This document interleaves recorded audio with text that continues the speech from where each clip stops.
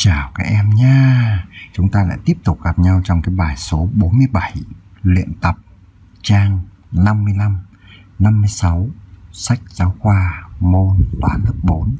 Và các em nhớ đây là những cái bài mà còn thiếu trong chương trình toán lớp 4 trên kênh của chúng mình nên thầy quay lại cho nó đầy đủ và trên kênh của chúng mình thì đã có đầy đủ chương trình của sách giáo khoa và bài tập phiếu bài tập cuối tuần luyện toán.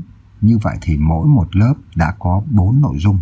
Sách giáo khoa này và bài tập này, phiếu bài tập cuối tuần này, luyện toán của toán lớp 3 lớp 4 lớp 5 thì đều có hết. Và toán lớp 6 cũng đã có xong nha. Được chưa?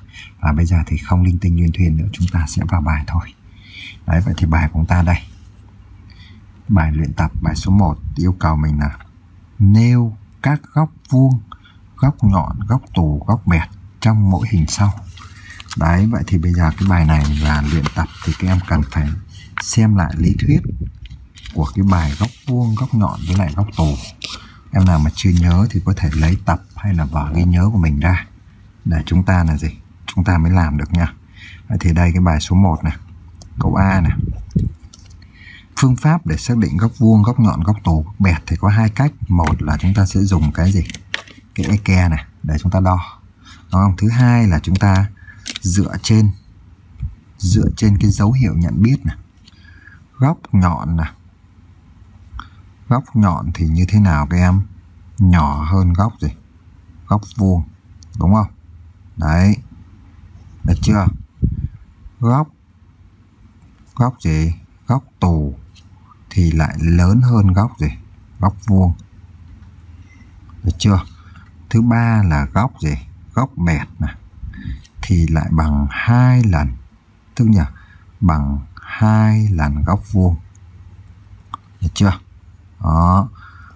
Và góc vuông thì chúng ta đã biết rồi, đúng không? Vậy thì dựa vào đây để chúng ta xác định luôn nhé vậy thì câu A bây giờ chúng ta sẽ kể ra thì yêu cầu nêu các góc vuông, góc nhọn, góc tù, góc bẹt. Vậy thì câu A này, ở hình A này, hình này. Đấy, thì chúng ta sẽ phải có những cái góc như thế nào đây? Đầu tiên ta xác định góc A này. Góc A. Góc A này sẽ là góc gì đây em rất là rõ rồi. Góc A là góc gì? Góc vuông. Góc A là góc vuông, đúng không? Vuông tại đâu? Vuông tại A. Với cạnh là gì? Cạnh là gì? AB và A AC AB và A AC này. Tiếp theo đến góc B này. Góc B này chúng ta thấy này, nó có hai cái góc nhỏ này. Đây là góc số 1 này, đây góc số gì? Số 2 này. Đấy. Vậy thì chúng ta sẽ có này góc này nó sẽ như thế nào với góc vuông nhỉ? Nhỏ hơn thì nó được gọi là góc gì? Góc nhọn, đúng không? Góc nhọn. Đỉnh gì? Đỉnh B cạnh. Góc nhọn là trước này, cạnh BA và B BM này. Đó, rất là nhiều nha. Nhiều em sẽ không ghi hết thì bị mất điểm nha. Được chưa? Rồi, góc nhọn đỉnh M, đỉnh B tiếp theo. Góc nhọn đỉnh B. Đó, cạnh ở đây lại là BM với lại B gì? BC này. Đó, các em mà chú ý nha cạnh BM B BC được chưa? Và một cái góc nhọn đỉnh B tiếp, nó bằng hai lần cái góc này nè. Đấy, bằng góc 1 cộng với góc 2 đây nè. Đấy, vậy thì đây là góc nhọn đỉnh B lớn nè. Nhớ nha, góc nhọn đỉnh B. Cạnh cạnh là gì? BA và B gì? BC BA và B BC đấy, vậy thì riêng cái góc B này có tới ba góc này. Được chưa? Bây giờ sang góc gì? Góc C này. Góc C này chúng ta gọi là góc gì đây? Nhọn, góc vuông. Tiếp tục là góc nhọn, đỉnh đỉnh C. Cạnh là gì các em? Cạnh là CB và C CA cạnh là cbcca C được chưa? Rồi, đến M đấy nha. M chúng ta có hai góc này đây góc số 1 này, đây góc số gì? Số 2 này đấy. Được chưa? Vậy góc nhọn đỉnh M1 này trước này đây là góc, không phải góc nhọn đúng không? Góc này sẽ là góc gì? Rồi, tự nhiên thầy viết chữ đà ở đây. Góc. Góc này lớn hơn góc vuông là góc gì? Góc tù, đúng không? Đỉnh M. Cạnh là gì? MB và M MC chỗ này sau cái nó ta cho một dấu phải hết? Cạnh MB và M MC được chưa? Góc nhọn bên này là góc nhọn, đúng không? Nhỏ hơn góc vuông thì lại là góc nhọn không phải góc tù nhá. Góc nhọn đỉnh đỉnh M cạnh là cạnh là gì? MB và M MA MB MA được chưa? Đấy, vậy thì cái hình này chúng ta có tổng cộng bao nhiêu? 1 2 3 4 5 6 7 góc nhá. Đấy, đừng em nào thiếu nha rồi xong nha bây giờ sang bên này câu B nè thầy gạch đây cho nó phân biệt ra. Câu B thì chúng ta cũng sẽ tìm các cái góc ở đây. Được chưa? Đầu tiên ta thấy góc A là quá ngon lành rồi nè. Góc A là góc gì? Góc vuông. Góc vuông đỉnh gì các em? Đỉnh A. Cạnh. Cạnh là gì? AD và A gì? AB cạnh là AD A AB rồi, bây giờ đến góc D thì chúng ta cũng sẽ có một, hai góc này, với lại một góc này nè. Đấy, ba góc nhá. Chú ý đấy, đừng bị bỏ mất điểm ở những cái câu này nha. Rồi, góc 1 này là góc gì? Góc nhọn, góc 2 cũng góc nhọn, nhưng góc 3 thì lại là góc gì? Góc vuông, được chưa? Góc nhọn đỉnh đỉnh gì? Đỉnh D cạnh. Là góc số 1 này là cạnh DB với lại D DA DB DA rồi góc nhọn tiếp theo. Là góc nhọn đỉnh gì? Đỉnh D tiếp. Cạnh là cái gì? Cạnh đây là DB với lại D DC DB và D DC rồi góc lớn nè. Đây là góc gì? Góc vuông này, chắc ăn nè. Đấy góc D lớn này này đúng không? Rồi, vậy thì lại là góc vuông. Góc vuông đỉnh gì các em? Đỉnh cũng là đỉnh D cạnh cạnh là DA và D DC được chưa? Đó, tương tự như vậy thì bên này góc C góc C đây là nhỏ hơn góc vuông. Nó lại là góc gì? Góc nhọn, đỉnh đỉnh C. Được chưa? Cạnh là gì? Cạnh là CD và C CB đó. Rồi, bây giờ đến góc B. Chúng ta cũng sẽ có góc số 1 góc số gì? Số số 2 và cái góc mà thầy quanh lớn đây sẽ là góc số gì? Số 3 đúng không? Đấy vậy thì giờ chúng ta sẽ tìm góc đó số 2 trước này đó là góc góc số 2 này nó là góc gì đây các em? Nhìn đây chúng ta thấy người ta đánh dấu hình vuông này, này. đấy vậy thì là sẽ là góc gì? Góc vuông đỉnh đỉnh B. Cạnh cạnh là gì? BD và BC này. BD và B gì? BC đúng không? Rồi, tiếp theo chúng ta sẽ xác định được đến góc gì? Góc số 1 bên này. Góc gì? Góc nhọn, đúng không? Góc nhọn đỉnh đỉnh B. Cạnh là gì các em? Cạnh là BD và B. BA BD và B BA và cái góc lớn góc lớn nó lớn hơn góc vuông rồi. Thì nó là góc gì? Góc tù. Đỉnh gì? Đỉnh B. Cạnh là gì các em? Cạnh là BC và BA BC và B BA được chưa? Đấy, vậy thì cái hình này cũng rất là nhiều góc nha. Và các em nếu mà đã xác định được hết tất cả ở đây thì là chúng ta đã nắm rất vững về ba cái loại góc này. Được chưa? Đấy, thay vì gấp cái giấy rất là nhỏ như này để làm cái bài này cho các em đó. Rồi, chúng ta sang bài số 2 này. Thì đây là cái sách thầy mượn nên những cái em học sinh, em đánh vào đây, chúng ta chưa biết nó đúng hay sai nhé. Ta sẽ kiểm tra này đúng thì ghi chữ đờ và sai thì ghi chữ S và ô trống này AH là đường cao của hình tam giác ABC đây AH này AH là đường cao tam giác ABC vậy thì các em phải biết được đường cao là đường gì? Đường cao của hình tam giác là nó phải làm sao? Phải vuông góc với cạnh đáy. Vậy thì AH này có vuông góc không? Không vuông góc với cạnh đáy này đấy, do vậy thì đây chúng ta sẽ xác định nó là gì? Nó là đúng hay là sai? Đúng hay sai các em? Đấy, vậy thì đây sẽ là sai nhá. Em này em làm sai rồi đấy. Đây sẽ là sai nè. Đó, chứ không phải là đúng được đâu. Vì sao cái thằng AH này nó không vuông góc này? Rồi AB là đường cao của hình tam giác, đúng không? AB AB nó vuông này, nó đánh dấu vuông nè đấy, vậy thì đây sẽ là cầu câu đúng này đó, cái em này em làm sai này nè. Em mà thầy mượn sách em làm sai nhá.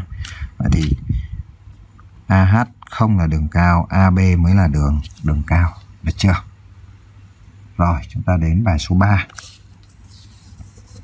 người ta cho đoạn thẳng AB như hình vẽ bằng 3 cm hãy vẽ hình vuông ABCD có cạnh là AB à, vậy thì bây giờ chúng ta cái bài này chúng ta phải vẽ ra ngoài thôi chứ không thể không thể vẽ vào trong này được đúng không? Đúng không? Đấy thì giờ bắt buộc chúng ta lại phải vẽ ra ngoài theo từng cái bước mà vẽ thôi. Rồi bây giờ họ đã có gì? Có cái AB này họ cho bằng mấy? 3 cm rồi. Đây chúng ta sẽ vẽ như sau này AB này bằng 3 cm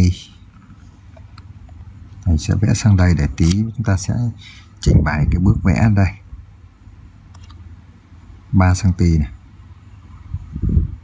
Đấy. Được chưa? Đây là A.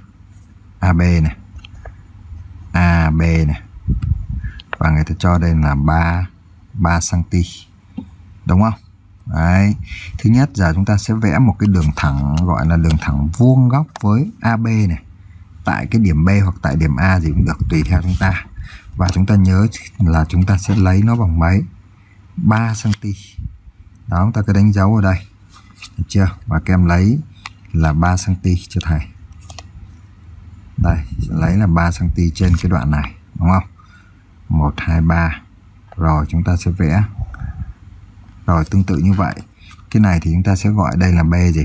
BC bằng 3 cm nhá tương tự như vậy thì bên này chúng ta cũng sẽ vẽ một đường thẳng là vuông góc với AB tại điểm gì? Tại điểm A và trên cái này thì chúng ta cũng sẽ lấy một cái đoạn gọi là đoạn A AD đó cũng bằng gì? Bằng 3 cm được chưa? Đó, chúng ta cũng sẽ lấy cái đoạn này là 3 cm thôi. Được chưa? Đây. Đó. đây cũng là 3 cm và đây chúng ta gọi đó là điểm D. Tiếp theo chúng ta sẽ nối D với gì? D với C này. Đó, là chúng ta sẽ được hình hình vuông ABCD có cạnh là cạnh A gì? AB được chưa? Vậy thì từng bước chúng ta sẽ ghi từ đây.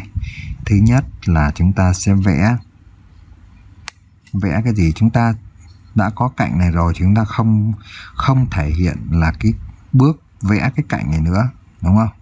Sẽ vẽ đầu tiên là vẽ đường thẳng. Đây, chúng ta chúng ta quên không đánh dấu những cái đường thẳng vuông góc ở đây. Vẽ đường thẳng vuông góc với AB tại tại đâu? Vuông góc với AB tại A và và gì? Và tại B này. Tại A và và B. Được chưa? Đấy. Trên mỗi trên mỗi cái đường thẳng thì chúng ta sẽ lấy đoạn thẳng. Đó, các em mở rộng ra thì các em phân biệt đường thẳng và đoạn thẳng để sau này lên lớp 6 chúng ta sẽ học phân biệt đó. Trên mỗi đường thẳng thì chúng ta sẽ lấy lấy cái gì các em? Lấy đoạn AD bằng 3 cm và bên này cũng lấy đoạn B gì? BC bằng 3 cm. Được chưa? đó bước thứ hai là chúng ta sẽ nối C với với D ta được ta được cái gì các em hình vuông hình vuông A B C D có cạnh là gì các em có cạnh cạnh là là AB đó có cạnh là A, AB và cạnh này bằng mấy? 3 cm. Được chưa? Đó. Rồi, tiếp theo đến bài số mấy? Số 4 nè. Bài số 4 là người tiêu cầu mình là vẽ cái hình chữ nhật.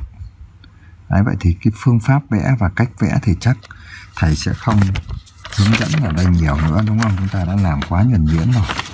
Đây là hình chữ nhật thôi. Hình chữ nhật thì nhớ là về lý thuyết thì chúng ta phải có là mấy bước bốn bước câu A hình chữ nhật chiều dài bằng 6 và chiều rộng bằng mấy bằng 4 nè à? đấy vậy thì chúng ta sẽ cái bước thứ nhất này là chúng ta sẽ vẽ như thế nào nhớ ở đây là chiều dài thì bằng 6 và chiều rộng thì bằng mấy? Bằng mấy? Bằng 4 đúng không? Đấy, vậy thì chúng ta sẽ vẽ này. Đầu tiên chúng ta sẽ vẽ đoạn thẳng AB vẽ đoạn thẳng AB này, thầy sẽ ghi lý thuyết trước thôi nha. Bằng 6 cm được chưa? Rồi, đây, bước thứ nhất. Bước thứ hai nè. Chúng ta sẽ vẽ đường thẳng. Nhớ là đường thẳng nha. Vẽ đường thẳng vuông góc với AB vuông góc với AB tại tại điểm gì? Tại A. Và trên cái đường thẳng này á, trên đó thì chúng ta sẽ lấy lấy gì? Lấy cái đoạn A gì? AD bằng mấy cái em bằng 4 cm được chưa? Bằng 4 cm. Rồi tương tự như vậy, bước tiếp theo chúng ta lại vẽ đường thẳng. Vẽ đường thẳng. Để các em vuông góc với A AB nhưng bây giờ lại là tại gì? Tại B. Và trên đó chúng ta cũng sẽ lấy lấy một cái đoạn gọi là đoạn B gì? BC bằng 4 cm được chưa? Đấy, bước thứ 4 thì chúng ta sẽ nối nối cái gì? Nối C với D thì ta sẽ được ta sẽ được cái gì các em hình chữ nhật đó hình chữ nhật A, B, C, D có chiều dài mấy? Chiều dài 6 cm và chiều rộng là 4 cm. Đó. Có nhiều em sẽ bình luận, nói là, thầy ơi, sao mà kích thước của thầy khác để, thầy khác để em? Thì em chỉ thay thay cái số kích thước. Có thể họ cho là AB bằng 4 còn thằng AD là bằng 3 hoặc bằng 2 gì đó thì cũng vậy thôi, chúng ta vẽ tuần tự. Được chưa? Vậy thì đấy là cái lý thuyết thầy ghi ra để chúng ta nắm này. Cái còn giờ về về mặt thực hành này, chúng ta sẽ vẽ đầu tiên. Đó là chúng ta sẽ vẽ cái đoạn gì đây? Đoạn AB này đó, cái đoạn AB bằng mấy? Bằng 6 cm nha. Đây AB bằng 6 cm chúng ta sẽ vẽ.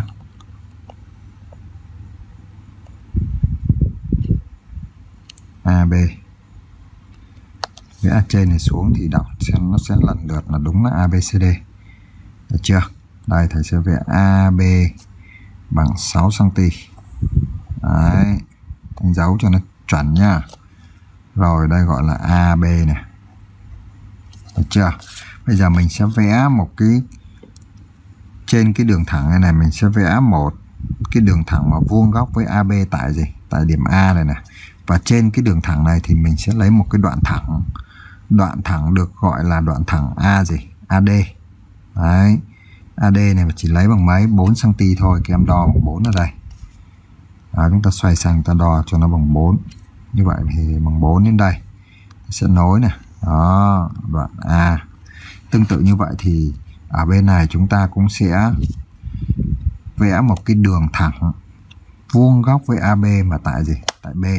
Và trên cái đường thẳng này mình cũng sẽ lấy một đoạn gọi là đoạn B gì? BC và BC này cũng sẽ lấy bằng mấy? Bằng 4 thì các em cũng sẽ lấy bằng 4 cho thầy nha. Đây 1 2 3 4 đấy chúng ta cũng sẽ lấy đây bằng 4 cm được chưa cái này bằng 6 cm chúng ta điền vào. Cái này bằng 4 cm này đó vuông góc bên này cũng vuông góc. Và máy bằng 4 cm này đây gọi là A gì? AD và đây gọi là B gì? BC rồi bây giờ chúng ta sẽ nối D với C. Thì chúng ta sẽ được hình chữ nhật. ABCD được chưa? Đấy, cái này thì quá dễ rồi thầy. Thực hiện rất là nhiều rồi. Rồi có B này xác định trung điểm M của AD AD đâu? Đây. Đấy, trung điểm N của BC nối M và N ta được. Các hình tứ giác đều là hình chữ nhật. Trung điểm là điểm nằm giữa hai đầu đoạn thẳng. Vậy thì ở đây, cái đoạn AD này bằng mấy? Bằng 4 vậy thì trung điểm M thì nó sẽ bằng mấy đây? Bằng một nửa thì nó sẽ bằng mấy đây? Bằng 2 bên này chúng ta cũng sẽ lấy trung điểm tức là nó sẽ cách đều mỗi điểm này sẽ bằng 2 đó vậy thì đây sẽ là E N. Và chúng ta sẽ nối hai cái này lại với nhau. Được chưa? Nối M với N này đấy chúng ta sẽ được các cái hình gì? Được chưa? Đấy, nối M với N. Ta được các hình tứ giác đều là hình chữ nhật. Rồi nêu tên các hình chữ nhật đó rồi bây giờ chúng câu B này. Chúng ta sẽ thực hiện xong rồi thì giờ chúng ta nhiệm vụ sẽ là nêu gì? Nêu tên. Đúng không? Đó, giờ chúng ta nêu tên các hình chữ nhật ở cái hình bên. Ý thứ nhất đúng không? Các hình chữ nhật rồi nêu tên các cặp cạnh song song. Rồi chúng ta sẽ có này các hình chữ nhật. Chỉ có mấy hình chữ nhật thôi. Cái bài toán này toán lớp 1 rồi hoặc các em xem ở trong một số cái kênh đó, tìm bao nhiêu hình chữ nhật đúng không? Vậy thì có hình chữ nhật. Đầu tiên là gì? A B N N M nè. A B N M nè. Hình chữ nhật tiếp theo nè. M N C gì? C D nè. M N C D. Hoặc các em đọc là C D M N thì cũng vậy nhá. Và hình chữ nhật lớn là A B C C D. Được chưa? Có mấy hình chữ nhật thôi, chỉ có ba hình chữ nhật. Rồi, xong. Nêu tên các cặp cạnh song song với AB song song với AB song song thì là những cái đường thẳng làm sao? Không bao giờ chúng có thể gặp được nhau. Đúng không? Vậy thì cặp cạnh song song. Các cạnh mà song song song song với gì? Với A, B sẽ là những anh nào đây? M, N và D gì? DC thôi, chả có ai khác. Và DC được chưa? Đấy. Vậy chúng ta đã thực hiện xong nhá, và các em nhớ là đừng quên chia sẻ video và giới thiệu kênh của chúng mình nha bye bye.